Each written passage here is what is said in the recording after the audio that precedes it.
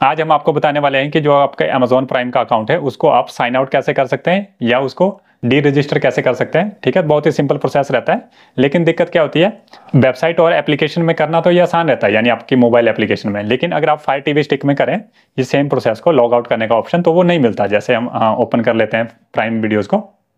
तो एप्लीकेशन को log in करने के बाद आप देख सकते हैं, हमारी प्रोफ़ाइल आ रही है, हम इस पर क्लिक कर देते हैं। क्लिक करने के बाद यहाँ पे कहीं पे लॉग आउट करने का ऑप्शन नहीं आता, ठीक है? ऊपर प्रोफ़ाइल का ऑप्शन आता है, नीचे सेटिंग का आता है, लेकिन कहीं पे लॉग आउट करने का ऑप्शन नहीं आता। तो अमेजोन फायर टीवी स्टिक के अकाउंट को लॉग आउट करने के हमारे पास दो तरीके रहते हैं, लेकिन वो दोनों सेम ही जगह पे जाते हैं। तो बेसिकली एक ही तरीका है नॉर्मली तो आप जैसे सेटिंग पे जाएँगे सेटिंग पे जाने के बाद आप यहाँ पे देखेंगे change account on fire TV यहाँ पे क्लिक करेंगे तो आप आप फायर टीवी की नेटवर्क सेटिंग में चले जाएँगे अकाउंट एंड प्रोफ़ाइल सेटिंग ठीक है? पहला तरीका तो है कि आप यहाँ से जाएँ तो दूसरे तरीके के लिए आपको अमेजोन प्राइम वीडियोस में जाने की ज़रूरत नहीं है। आप नॉर्मल सा सेटिंग में जाएँगे। ठीक है सेटिंग में जाने के बाद आप नीचे हाँ स्क्रॉल करेंगे। अकाउंट एंड प्रोफ़ाइल सेटिंग तो डायरेक्ट ही हम इसको ओपन कर देंगे। तो आप देख सकते हैं कि इसमें हमारा नाम आ रहा है।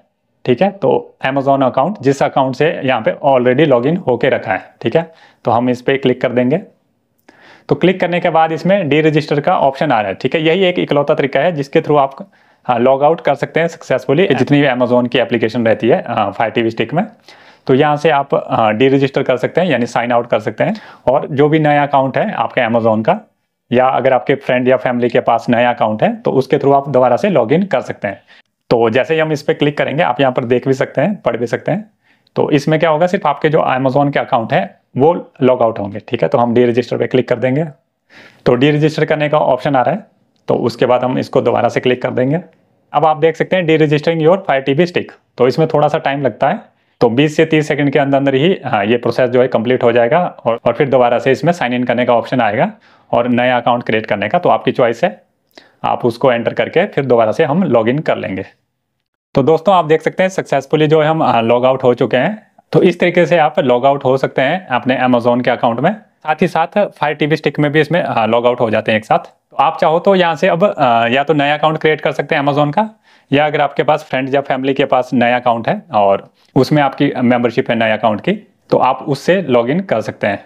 और ज़रूरी नहीं है कि आपके पास मेंबरशिप होनी चाहिए अमेजोन प्राइम की। अगर आपके पास नहीं भी है विदाउट मेंबरशिप है, तब भी आप अपने फायर टी स्टिक को जो है यूज़ कर सकते हैं। तो आप कोई भी इसमें अमेजोन का नया अकाउंट डाल देंगे।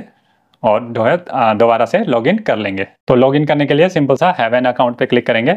इस वेबसाइट को डालेंगे ठीक है Amazon dot com slash code और ये जो आपको एक्टिवेशन कोड आ रहा है इसको आप एंटर करेंगे और प्रॉपर तरीके से लॉगिन हो जाएँगे। दूसरा ऑप्शन है आप इस क्यू आर कोड को स्कैन करेंगे नॉर्मली और आप इसी वेबसाइट में रिडायरेक्ट हो जाएँगे दोबारा और इस वाले कोड को डालेंगे और थोड़ा सक्सेसफुली जो है आपका अमेजोन प्राइम वीडियो जो है चल पड़ेगा ठीक है या इसमें लॉगिन हो जाएँगे।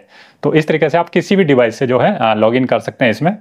तो दोस्तों, उम्मीद है आपको ये वीडियो पसंद आई होगी। इसी तरह का सिमिलर कंटेंट देखने के लिए आप हमारे इस चैनल को सब्सक्राइब कर सकते हैं। तो मिलते हैं ऐसे किसी सिमिलर वीडियो में। तब तक के लिए बाय दोस्तों।